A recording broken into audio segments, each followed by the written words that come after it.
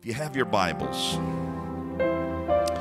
Exodus chapter 21, 1 through 6. I'm going to read a few scriptures. So when I when I get done with Exodus, I'll let you be seated and I'll read the rest. Now that I am a senior, I understand that we need to sit down every once in a while. Exodus 21, 1 through 6. Now these are the judgments which thou set, shall set before them. If thou buy an Hebrew servant, six years he shall serve, and in the seventh he shall go out free for nothing. If he came in by himself, he shall go out by himself. If he were married, then his wife shall go out with him. If his master hath given him a wife, and she hath borne him sons or daughters, the wife and her children shall be her master's, and he shall go out by himself. And if the servant shall plainly say, I love my master, my wife, and my children, I will not go out free, then his master shall bring him unto the judges, shall also bring him to the door or unto the doorpost, and his master shall bore his ear through with an awl, and he shall serve him forever. You can be seated. Let me read a couple of more scriptures to you. It shall be if he, Deuteronomy chapter 15, verses 16 and 17, and it shall be if he say unto thee, I will not go away from thee, because he loveth thee and thine house, because he is well with thee, then thou shalt take an awl and thrust it through his ear unto the door, and he shall be thy servant forever, and also unto thy maidservant thou shalt do likewise. In 1 Corinthians chapter 7, verses 22 and 23, it says, for he that is called in the Lord, being a servant, is the Lord's freeman. Likewise, also, he that is called, being free, is Christ's servant.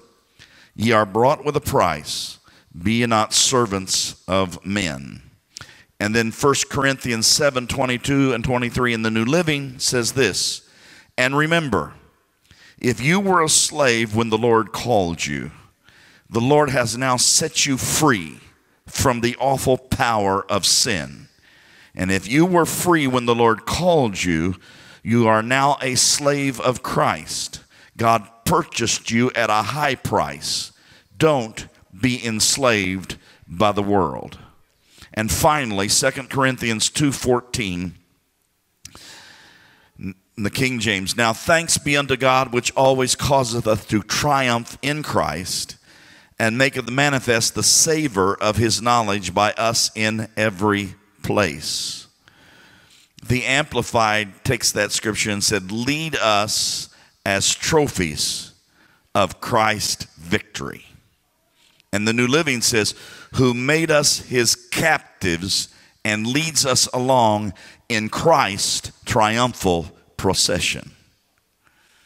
Now, I wish I could say that I have this whole thought to myself. But in Anderson, South Carolina, we're just down the road from Bob Jones University, and we are surrounded by Baptists. They are everywhere. And I got this thought from a Baptist guy. So I thought, it's a great thought, but it needs some apostolic flavor. So I just took it. And, and I want to talk to you on this subject triumphant slaves of God. Triumphant slaves of God. Most of us have an adverse reaction to the term slave. We automatically think of the evil system by which slavery has been used in the past, and there's not a one of us in here that are comfortable with that. And that's not what we're going to be talking about tonight. In the Bible, when a Hebrew slave situation comes up, it's very different. First of all, you only become a slave if you owed a debt you could not pay or you were caught in the act of thievery. In the case of debt, you were only required to be a slave as long as it took to pay off your debt, or after six years of service, you were set free. The only exception would be given in Exodus and Deuteronomy. Those slaves who fell in love with their masters could choose to remain in the service of the master for the rest of their lives and become what is called love slaves. Now, in the same way, when we came to God, most of us were in trouble. The majority of us did not come to church because things were going great. We usually walked through the doors of the church when things were not going very well. We were in trouble. We were in difficulty. I've even seen those who were facing prison in all of these things. But they came to the house of the Lord in their difficulties. Amen. And they had a debt that they owed to this world, to God, and they did not know how to pay it. And in desperation, they turned to Christ as their Redeemer. And He allowed Himself, because of love, to be nailed to that cross, which then becomes the door to our freedom because of His letting Himself be nailed. You may serve the Lord out of a feeling of debt and maybe even fear. year, several years ago, we used to have preachers going around preaching end time stuff, scared people to death. And the altars were flooded as people said, Oh man, the Lord's coming, the Lord's coming. And, and I'm, I'm just going to ask you a question Where are those crowds today? Okay? Because if you serve the Lord out of a feeling of debt or a feeling of fear, it will not last a long time. You will eventually fall by the wayside. But oh, if you realize that you have never ever served a kinder, more merciful master. And it allowed you allow him to win your heart. Hallelujah. And suddenly one day you realize that you don't have to serve him because of a debt. You don't serve him because of fear, but you serve him because you have fallen in love with him. I want you to understand everything that there is about living for God, unless you fall in love, unless it gets in your heart. If you just do it because we tell you to do it, if you just live that way because we tell you to live that way, it won't last very long. But if it gets down here in this heart, oh, hallelujah, hallelujah. When you fall in love with the Master, you are willing to do anything and everything for Him. Hallelujah.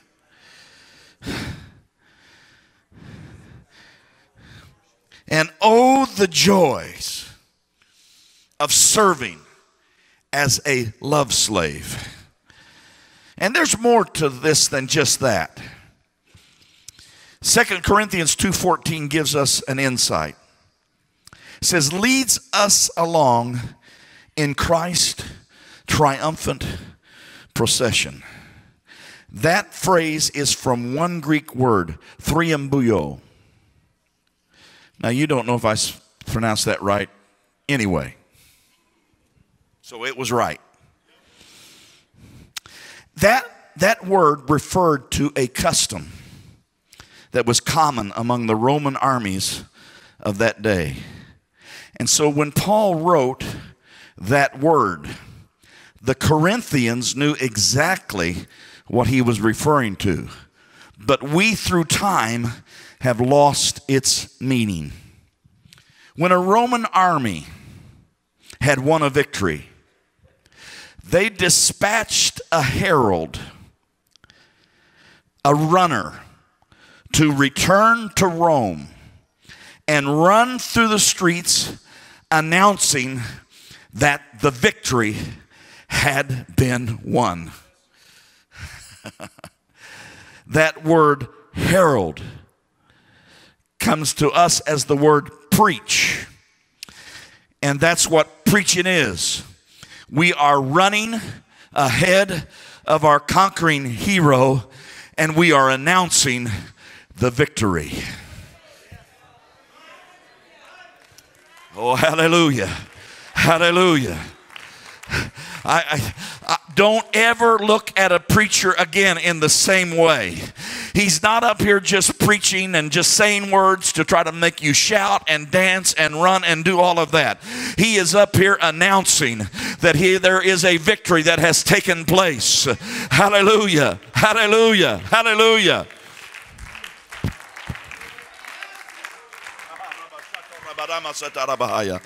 You see, what's happened in this place, as far as I can feel in the spirit, is that there has been a victory in this house. You, you haven't had all the victories you want, but you're fixing to get a lot of victories. I'm going to tell you that right now. Where the Spirit of the Lord is, there is liberty. And when we worship God, anything can happen in worship. Somebody says, You tell me where God is, I'll give you his address. He inhabits the praises of his people. That's his address. That's where he's at. You want to find him? Start worshiping. You want him to come to you? Start worshiping. Oh, hallelujah. And I can say this because I've been here a while, because I have been in the position of superintendent and such. New Brunswick Atlantic District. Let me say this as kind as I know how to say it. You have a rich heritage. You've got a great history. But you better not be living in your past. It's not time to live in the past. It's time to have victory in the present. It's time to look toward the future with excitement, exuberation, and realizing that revival is about to come. I am telling you in the Holy Ghost that there is a fresh move of the Spirit that's beginning to come into this region, and it's going to come into this church, and it's going to come into other churches. The power of the Holy Ghost is going to be unleashed.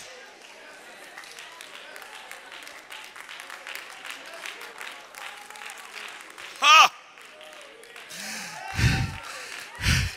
I was in Zealand this morning. They're getting ready to celebrate 94 years of existence. That's powerful. That's mighty. But I can't lean back on the 94 years. I'm ready for something to happen right now.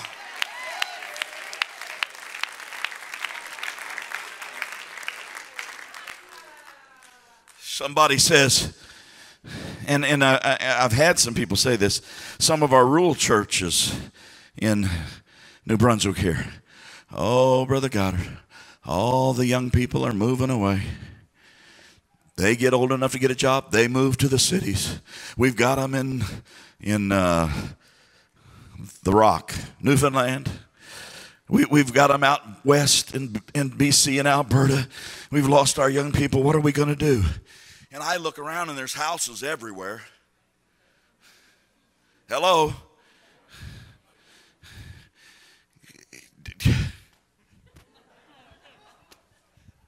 I, have been challenging churches everywhere I've been on this trip because it just gets under my skin when somebody begins to talk negative about what is going on in the church.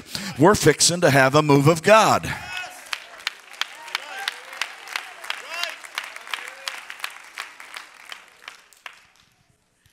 While Summer Summit was going on, there was a shift in the spirit world. Hallelujah. I, I'm going to tell you that spiritual warfare is more of a reality than just life itself. This is what we're going through, but we're on the winning side. Hallelujah. Hallelujah. I told I told some of those churches, I said, when somebody in your community gets into difficulty or sickness or disease, where do they come to ask for prayer? They come to that apostolic church because they know that there's power in that church. Hallelujah. Hallelujah. Hallelujah. Oh, my, my, my, my, my, my. I am here to tell you, and I'm, I'm out of my notes, but I'll get back to them. Be patient. I got at least a good three hours in me. No, I won't do that. But I, I told at Summer Summit, I talked about the miracle that took place that Brother Jack Cunningham talked about. Church out in California. And a guy walks into the office after, I'm not going to go through the whole story because most of you were here. But guy walked into the office on Monday after they had had this huge service. He was a businessman from their community. He has never darkened the door of their church, and he has not yet darkened the door of their church. But he came that day, and he looked at the pastor, and he said, Rumor has it that your church is in trouble. Now, I got to thinking about that. How many of us preachers would be willing to look at this guy who is an atheist? He's an avowed atheist and tell him, Yep, we're in trouble. Now, I don't want to do that. But this pastor did. And he's had some transition problems plus financial situations. And this man, this unbeliever, this atheist asked him, How much do you owe the bank? And the man said, Two point whatever million. The man reached into his pocket, pulled out his checkbook, and wrote out the check and paid off the debt.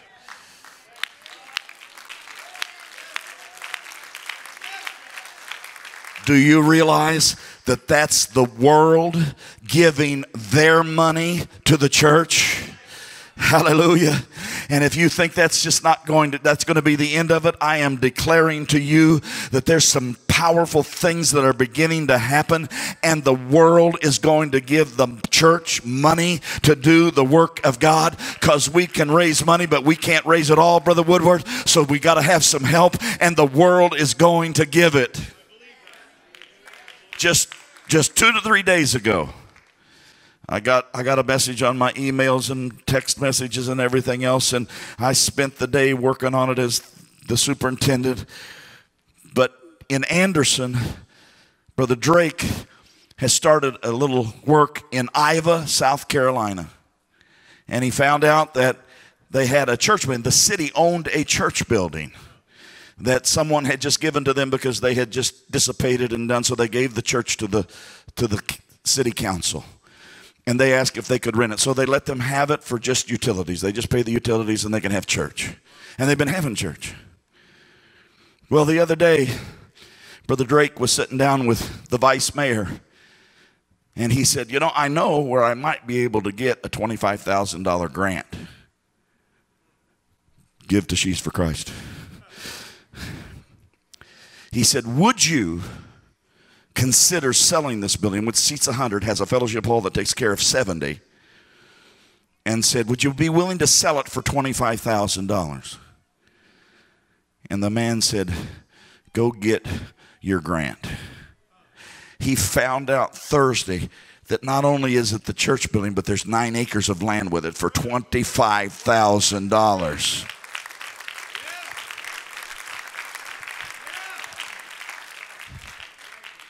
Something is happening. Hallelujah. And Capital Community Church, I believe that we want to be right smack dab in the middle of it all. Hallelujah. I told this, but I'll tell it again because it's so exciting. Jack Cunningham got me in contact with a man by the name of Chad Connelly. Chad Connelly is the director of the faith outreach arm of the Republican National Committee. And he has made a friendship with Jack. Jack's taken him all around his district, let him speak in churches and such. He is a very, very good Baptist man. Just tremendous Baptist man. So Jack said, He lives in South Carolina, Brother Goddard. You need to get with him. So I did. We had lunch together. He brought a pollster with him and all this stuff. And we were all sitting there and we, we spent two to three hours in a restaurant talking. And then Jack came to our camp and preached. And then he got a phone call. And it's Chad. He says, Jack, guess what happened to me? Jack said, What? He says, I was visiting one of your churches. He said, I got that Holy Ghost. He said, I've been talking in tongues and I got baptized in Jesus' name.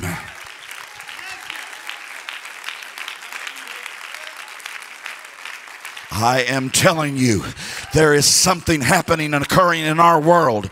You may think that everything's falling apart. I say God's putting the pieces all together for an end time revival like we have never experienced in our lives. I think it's about time that the church became excited about it and said, let's get a part of this. Let's have it. Let's worship. Let's praise God. Let's usher in the presence of the living God.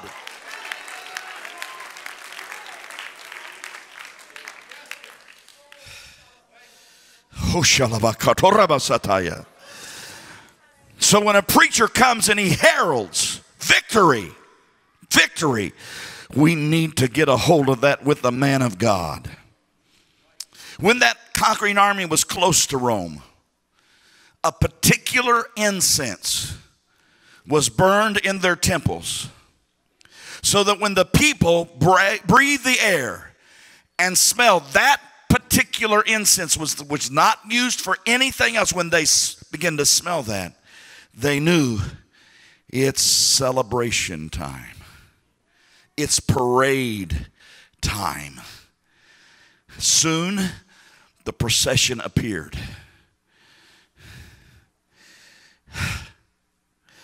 Boy, you know what? I smell something. Hallelujah.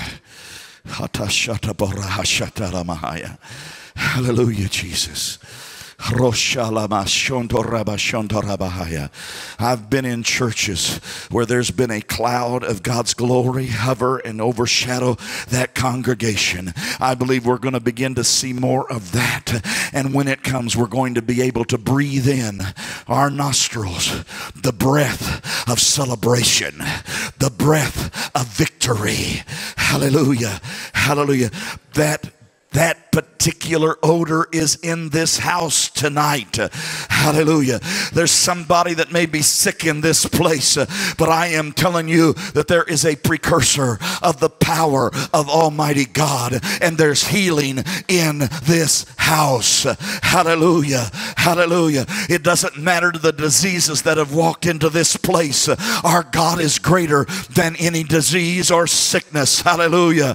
He's in this house. You can actually feel it, you can actually smell it, you can actually know that the presence of God is in the house. Oh,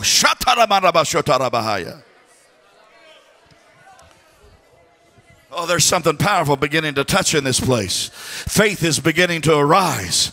Hallelujah. Hallelujah. Hallelujah. Ha. Mm, mm. The commanding general in a gold plated chariot was drawn by white horses. There were musicians, there were priests with censers, and there was others. And right behind the chariot were the officers of the defeated army, chained to the chariot, being taken to execution or slavery.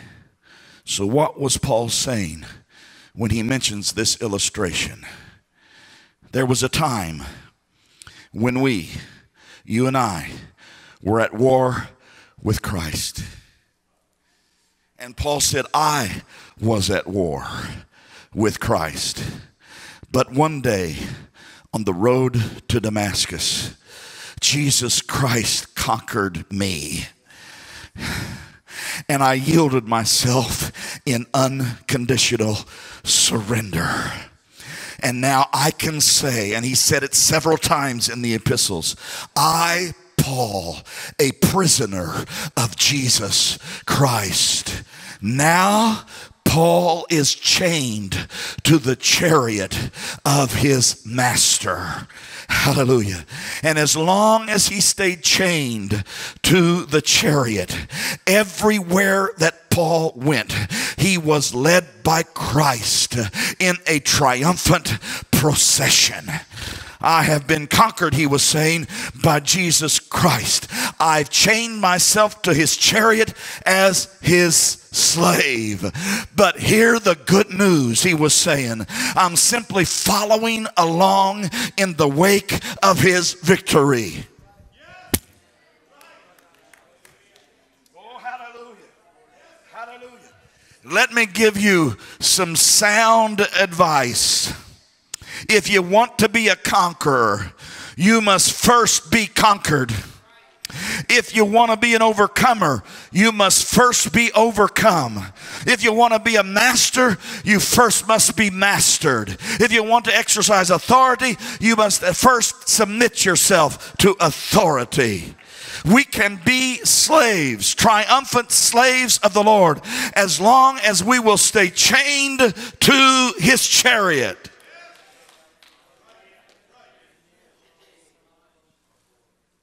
How many of you know who Houdini was? There's a few. We have a generation gap here.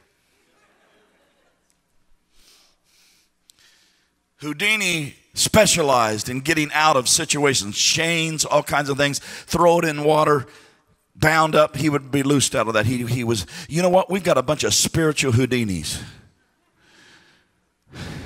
who are trying to get off of the chain that holds them to the chariot. You don't want to get off of that chariot, my friend. Hallelujah. I, I, I, just want you to think about that. You need to stay chained to the chariot. Hallelujah. Hallelujah. now thanks be unto God, which always causeth us to triumph in Christ and maketh manifest the savor of his knowledge by us in every place. Here's a different interpretation Goddard chapter 3, verse 5. Thanks be to God who always, anytime, every time, all the time leads me in triumph in Christ and every place, all places, my place, you name the place. Hallelujah. Hallelujah.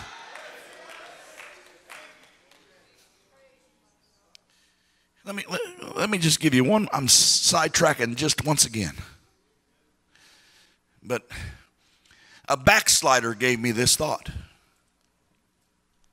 And I could name him, and lots of you guys would know who it is. But they gave me this thought. They said, Brother Goddard, are you familiar with the term ROE? I said, Yes, rules of engagement. He said, It's a military term. Yes.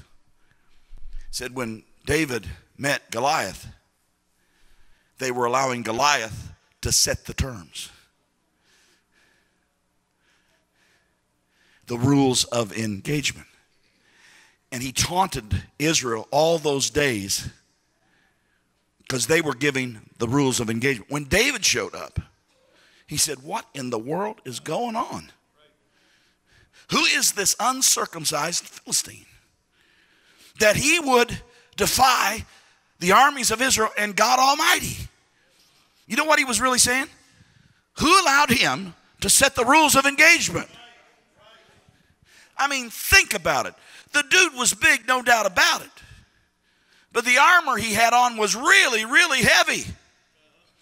He was on the other side. He wasn't down in the valley. You know why he wasn't down in the valley? If he got down the valley, he couldn't get out. Way too much.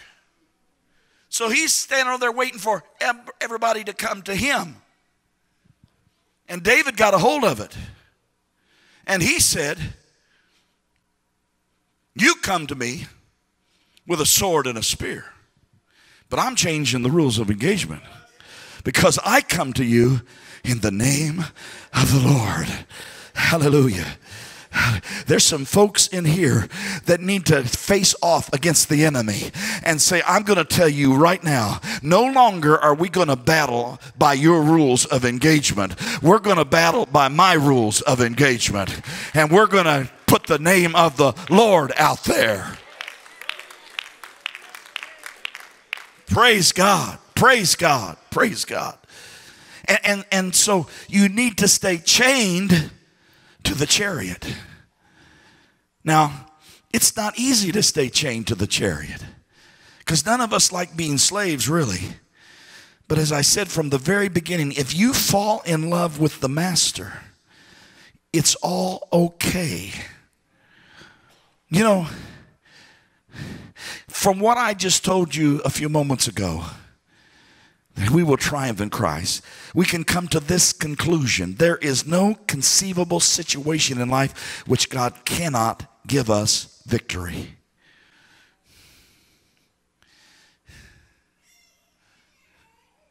Hallelujah. And this next part just absolutely floors me. Because if you stay chained to his chariot. He's ahead of you. And and I I'm over here and I'm chained to his chariot. And so I'm just pulled along. But every step I take, Brother Woodward, I'm stepping in the footsteps of my God. I am stepping in the steps of triumph and victory. Hallelujah. When you understand that, why would you want to get unchained from his chariot? I want to stay chained to the chariot. Hallelujah. Victory, victory, triumph, triumph, victory, victory, triumph, triumph, victory, victory, triumph, triumph, triumph, triumph, triumph, triumph. Hallelujah whatever you're facing today. And I don't have to be a guy gifted with all of the gifts of the Spirit to figure this out. Just in a crowd this size, I know that there are people that are struggling with some junk and some stuff that has come into your life.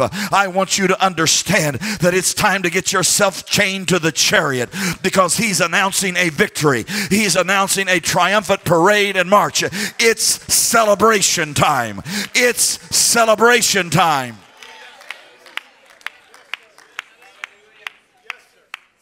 Oh, hallelujah. Hallelujah. Hallelujah. You know, it seems like such a simple thing. But when you're sitting out here in a pew and, and the Holy Ghost begins to move on you, and, and remember how difficult it is to get up out of this pew and walk down to that altar. Hallelujah. it's for some of us, it's been so long that we forgot how difficult that walk is. But if there's somebody in this place that you're sitting in a pew right now, and you're saying, I don't know if I can make that walk down to that altar.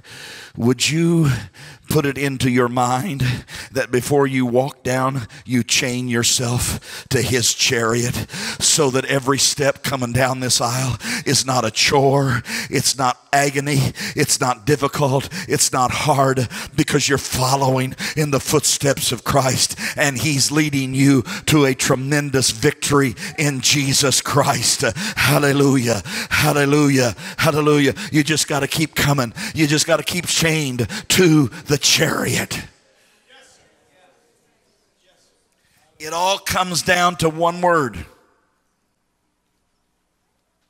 submission. Submission to the chariot.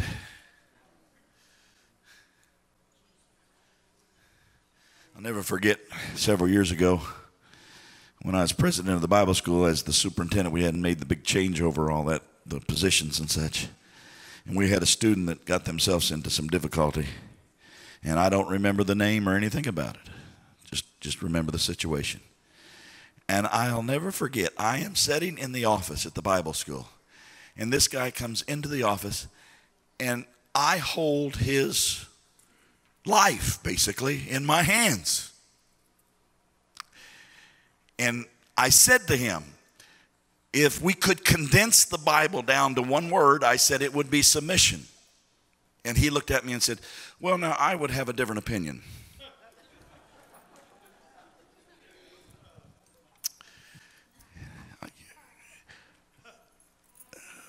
Not real smart.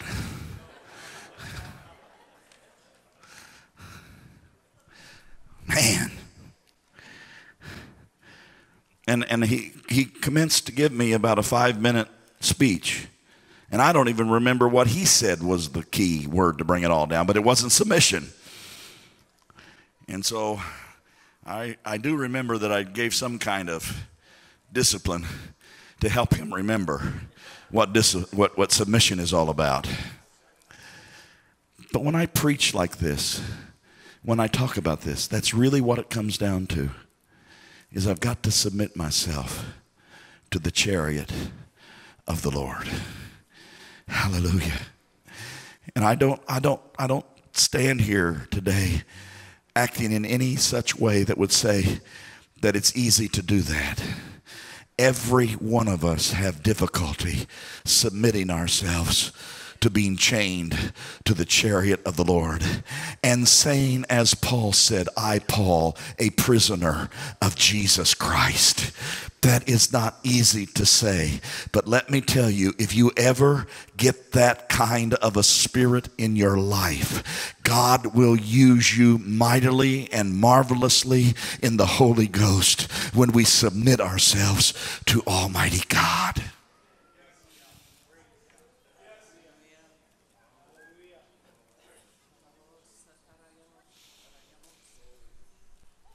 I've talked about her, and if you're doing live streaming, just cut me off for a little bit because I don't know who's watching tonight. I, I, I, I want you to understand something. I'm 68 years old. I get tired preaching now. My wife says we're not old. She's just in a state of denial.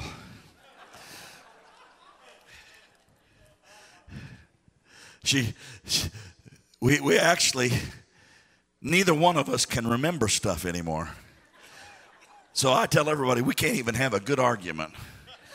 Because if she says, I told you, she's not really sure if she told me. And if I tell her, no, you didn't, I'm not really sure that she didn't tell me. So we finally just have to give up, quit. That's a sign of age, I think.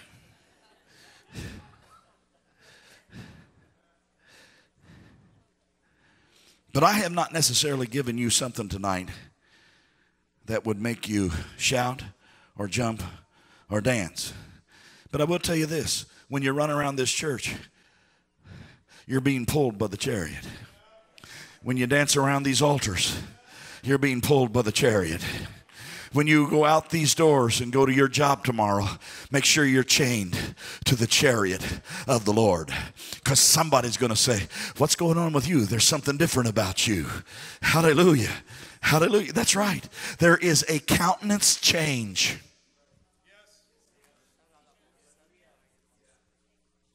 I may have told you this before, but I pastored in Dawson Creek, 800 miles north of the border. 40 and 50 below zero. Aren't you ready to go? No? Okay. What a privilege it is. And and so we were in a town of about 13,000 up there. And we had the town drunk come to church. And he was he was it was awful. He looked awful. And he came to the altar and he prayed.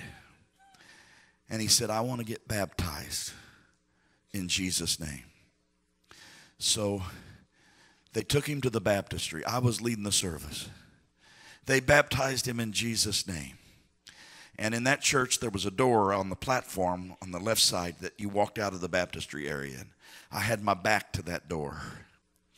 And I was just leading the people in worship, waiting for him to come out. And I, I literally saw it on the face of all the people, and I literally heard a gasp from the audience because he did walk out. And you would not believe it was the same person. That few moments in that baptistry, being covered in the name of Jesus. He walked out of that room. He looked 20 years younger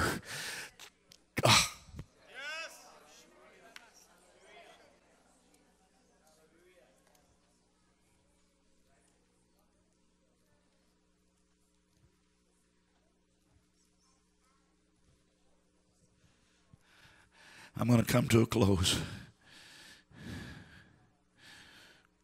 But I want you to understand. I think all of us are guilty of this. I am. Walking into our church buildings and not thinking a thing about the presence of God. How many times have I walked through the back doors of our assembly and just walked casually into church and started a conversation with somebody and not taking the time to stop and say, Lord, I'm in your house. I just want to give you some praise here before we go any further. We don't really do that. And, and, and I, I had this happen in St. John one time. And uh, I don't know if it was Kathy or who it was. Julie, one or the other, came to my office. I was working on something. They said, There's a man out here that wants to meet with you, talk to you about something. He was a businessman in the city. And I said, Well, just let him sit in the sanctuary, and as soon as I'm done here, I'll go out there. Because it wasn't a scheduled appointment. It was about five or ten minutes, and I walked out into the sanctuary. He was sitting on the back row of the church. And when I came around, tears were streaming down his face. And I said, May I help you, sir? And he said, Well, I came, whatever the business was about. But he said, Sitting here, Pastor. He said, I feel such a strong presence of the Lord in this place. No organ playing, no music, no singing, no audience, no preaching, nothing, an empty building. And he's feeling the presence of the Lord. I happened, had it happen to me in Dawson Creek. I had a man, his name was Alan. He took the garbage out for the church. He was uh, a bit of a, you know, uh, just one of those kinds of people. And I had given him this job, and it was important to him. And he was working at a restaurant downtown. And in the guys at the restaurant, a father and a son, they said, We need some things to be picked up. Can we use your truck? And he said, Yep. But I got to go by the church first. He said, Well, that's okay. He said, Well, I got to pick up the garbage. That's my job. And so they get in the truck with him. He drives up to the church, gets out, and he don't even say, Would you like to see the church? He doesn't say anything like that. This, this was just Alan. And so Alan brings them in, leaves them on the landing. You come in the side door, there's a landing. One set of stairs goes up to the sanctuary, one goes down to the basement. He just left them there, went down to the basement to get the garbage. When he comes back, they're still standing on the landing, except they're both crying. And here's what the father said to the son He said, Son, do you feel what I feel? This is on a Monday, empty building. And the son said, If it's that prickly stuff going up and down my spine, he said, Yeah, that's what I'm feeling. I ended up giving them a Bible study and baptizing both of them in the name of Jesus. And they were filled with the Holy Ghost and they were Jewish. Hallelujah. Here's what I'm saying. If you're truly chained to the chariot, when you come through the doors of your church building, I'm going to urge you to stop just a moment and recognize the presence of the Lord. Hallelujah. Right now, in this place, the presence of the Lord is in this sanctuary right now.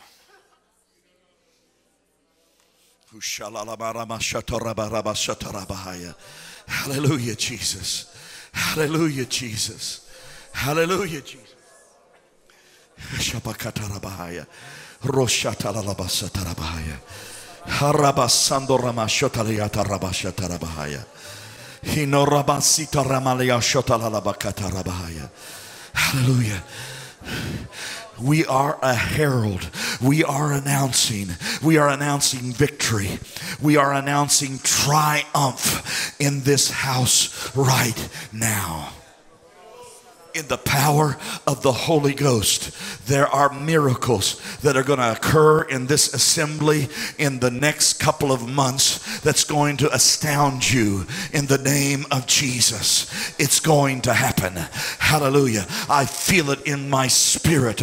I am not just up here talking, but I feel something in the Holy Ghost. There was something in the spiritual world that shifted for this area and the district, but I am telling you that something has shifted in the spirit world for this assembly right here, right now. Hallelujah. Hallelujah. Hallelujah. Hallelujah. God has not placed you here for you to just be here, but He's placed you here to reach out to your community.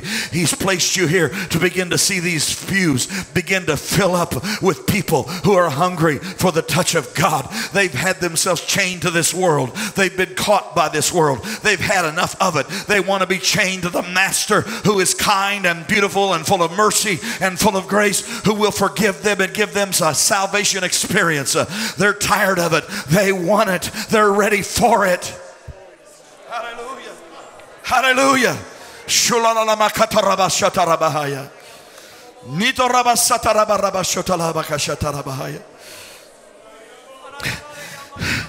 Jesus.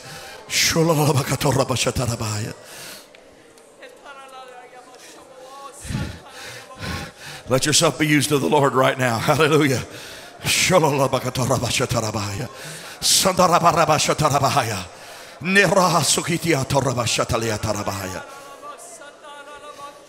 it's been a while since you talked in tongues, why don't you just start praying in the Spirit right now? Hallelujah. Hallelujah. Hallelujah. Hallelujah.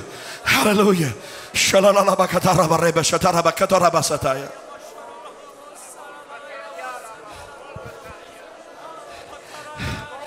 Something is beginning to happen right now. Hallelujah. Something just stepped into this place.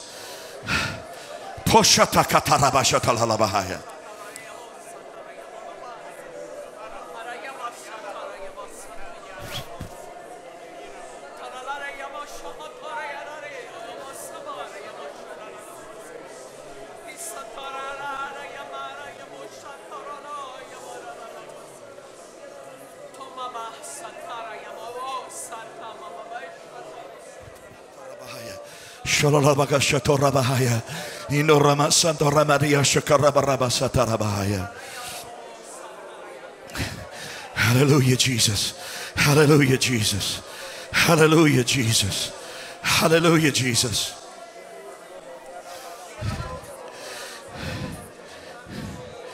I'll tell you what I want you to do. They tell me that there's two kinds of shout in the Old Testament. When the men shouted, it was the shout of war. When the women shouted, it was the shout of victory. Hallelujah. Hallelujah. Hallelujah. In just a moment, I'm going to ask the men of this assembly to shout the shout of war. We're going to declare it in Jesus' name. But when they die down, ladies, I'm going to ask you to shout the shout of victory.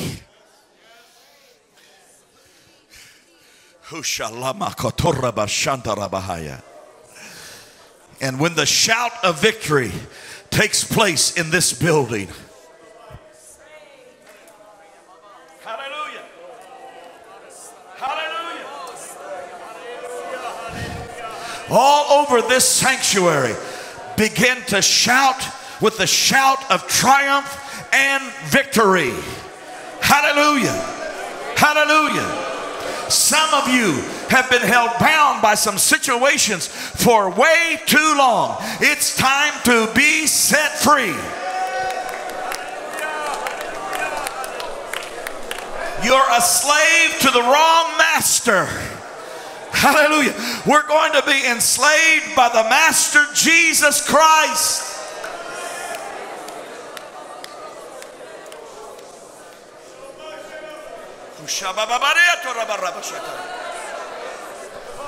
I want us to worship him for a little bit. I want to have it the right spirit at the right time.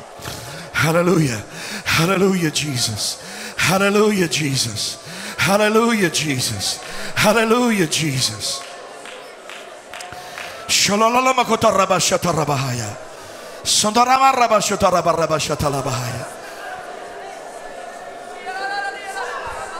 Jesus. Jesus. Jesus. Jesus. Jesus in your name. Shulabakatarabashatorabahaya.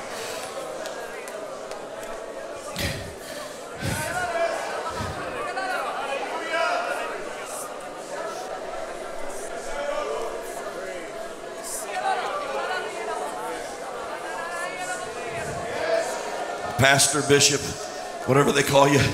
Am I okay for right now? Am I doing okay? All right, I want to do something.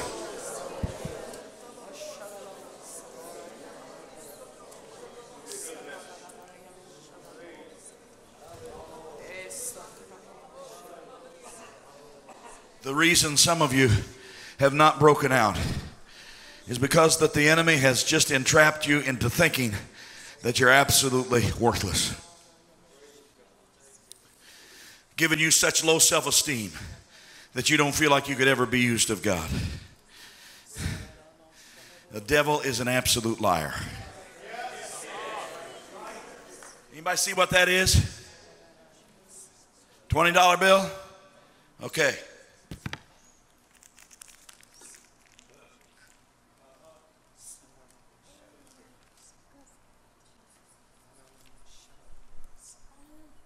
What is that? But it's all messed up. Still $20 bill?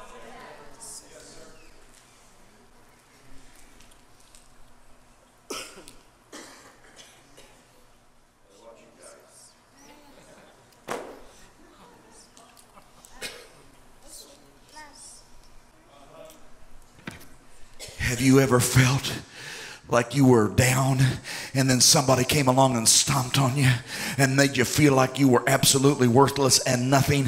Has the enemy been talking to you and telling you that you can't do anything for the Lord because of your life being messed up? Somebody beat you up, somebody tore you down, somebody stomped on you, and you say, That is an absolutely worthless $20 bill. You think that's worthless? Anybody that can get it, it's yours.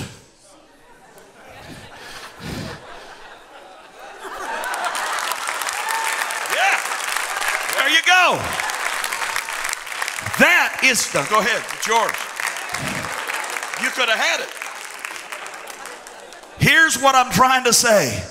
There's still value. It's still a $20 bill. You are still a child of God. You are still a saint of God. You are still part of the royal family. I don't care how much you've been beat up.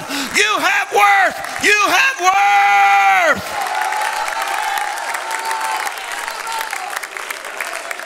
Hallelujah!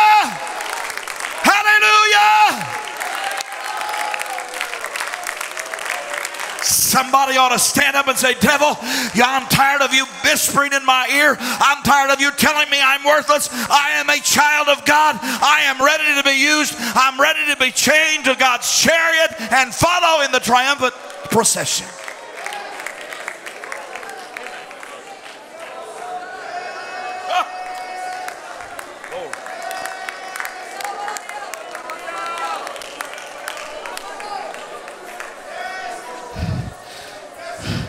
Just want to get out of the way in case something happens. Hallelujah. Men, are you ready? I don't want no puny shout. This is a shout of war. And I don't want just one shout, I want you to repeat yourself. You say, Brother Goddard, this is childish. No, it isn't. They did it back in the days of the Old Testament. And we're going to do it now. I just want to serve notice to the spirit world.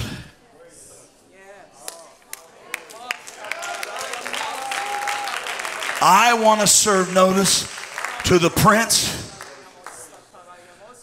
of Fredericton.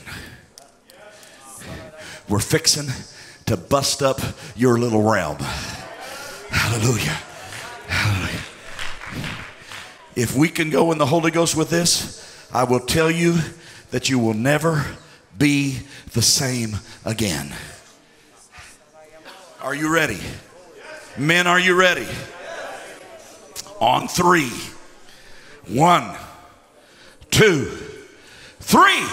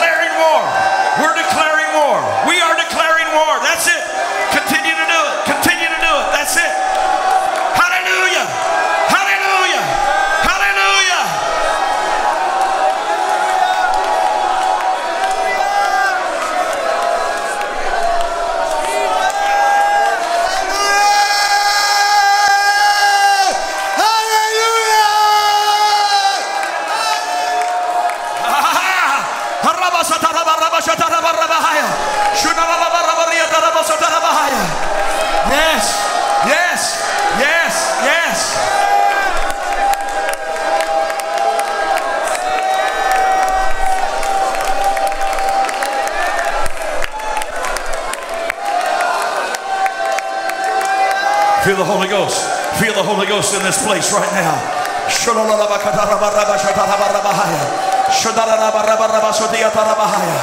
Hallelujah. Hallelujah. To the prince and power of the air, Satan himself, I declare war. I declare war like we have never declared war before. Hallelujah. Hallelujah. Hallelujah. It is shaking. It is shaking. It is shaking right now.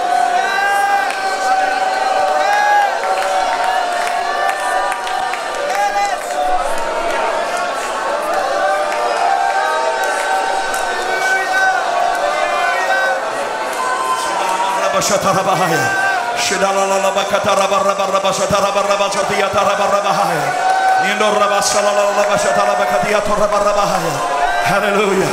Hallelujah. Hallelujah. Hallelujah. Hallelujah.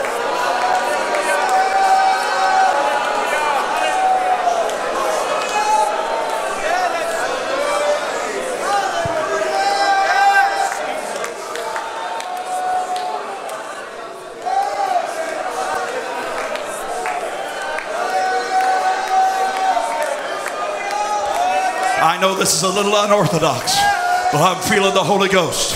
Hallelujah. Ladies, are you ready? We're going to give a shout of victory. We've declared war, but it's not just war. We got to have some victories. Hallelujah.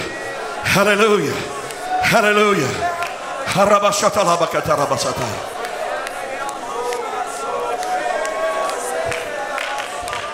I feel like there's a victory that's going to be carried from this place upon your shoulders into your nation. Hallelujah.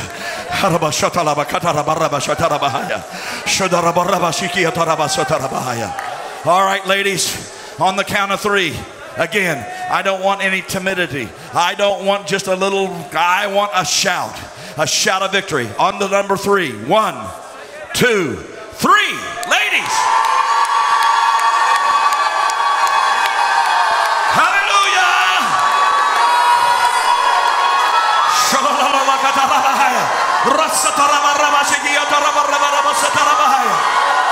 That's it. That's it. That's it. I see victory. I see victory. Yes. Hallelujah.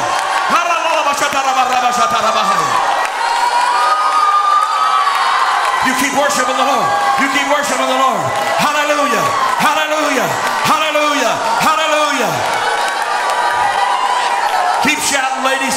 As you shout, put your victory into action. Men, start putting that victory into action right now.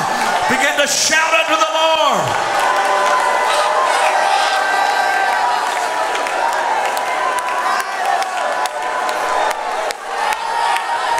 Woo! Something powerful is happening in this place right now.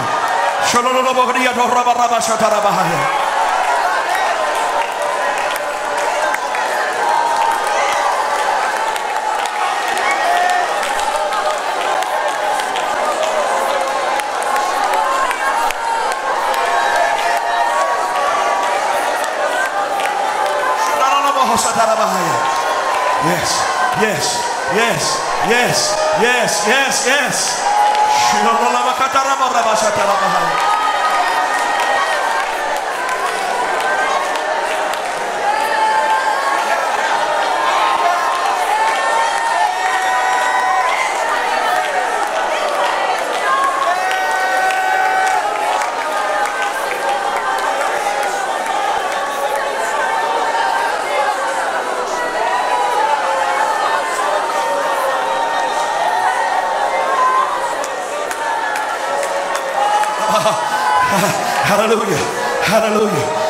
sit back.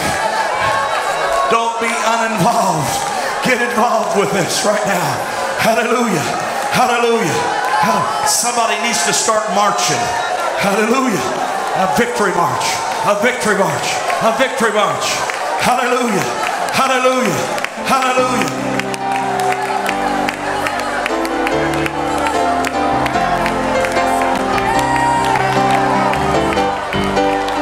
That's. Get out of those pews and begin to worship the Lord. Yeah. Hallelujah. Hallelujah. Yes, yes, yes. Chain yourself to the chariot.